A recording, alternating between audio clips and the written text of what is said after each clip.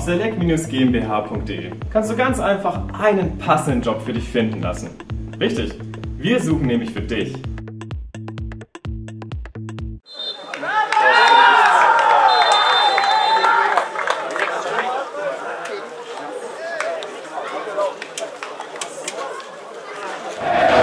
Patrick Wehmer, klassisch, ähm, wie es in solchen Fällen ist, in allerletzter Sekunde den Ausgleich geschossen.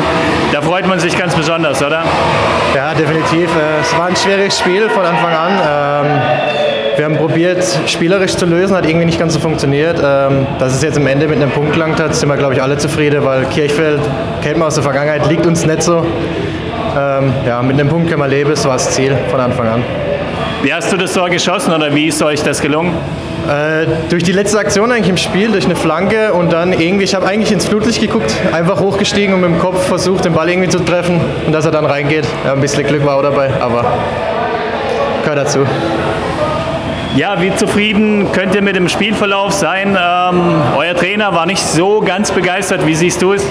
Ja, eigentlich auch zu Recht, weil spielerisch, wir wollten es eigentlich spielerisch lösen, aber hat nicht so geklappt. Ähm, uns ist nicht viel eingefallen. Wir sind auch irgendwie nicht in die Zweikämpfe reingekommen in der ersten Halbzeit. Wir haben dann in der Halbzeit umgestellt auf ein anderes System und das hat uns mehr gelegen. Also es hat dann besser geklappt. Wir sind besser in die Zweikämpfe reingekommen. Ähm, zweite Halbzeit war besser wie die erste, aber können wir auf jeden Fall noch aufbauen. Ja, wie siehst du die Situation momentan? Ein bisschen schwierig vom äh, Personal her. Äh, viele Abgänge, viele Verletzte. Ja, und Urlauber noch dazu. Das kommt noch dazu. Ähm, ja, also wir haben aktuell einen Kader von 14 Mann heute gehabt, also das ist nicht viel.